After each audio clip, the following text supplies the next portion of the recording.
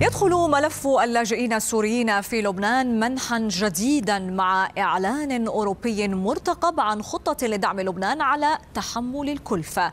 مصدر أكد للحدث أن مؤتمرا سيعقد في بروكسل في السابع والعشرين والثامن والعشرين من الشهر الجاري سيخصص لتقديم مساعدات مهمة للبنان أبرزها للجيش اللبناني وللاجئين السوريين وخلال لقاء مع وفد أوروبي دعا رئيس حكومة تصريف الأعمال نجيب ميقاتي الاتحاد الأوروبي ليغير سياسته فيما يتعلق بمساعدة النازحين السوريين في لبنان وأن تكون المساعدة موجهة لتحقيق عودتهم إلى بلادهم.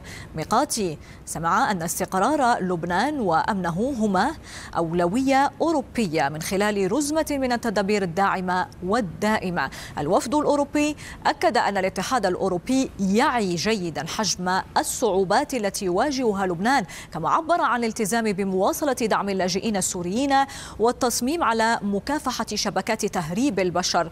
ونقل الوفد الأوروبي للمسؤولين في لبنان التزام الاتحاد بدعم لبنان في الأمد القريب والبعيد والاستعداد لزيادة دعم الجيش من أجل تعزيز استقرار لبنان.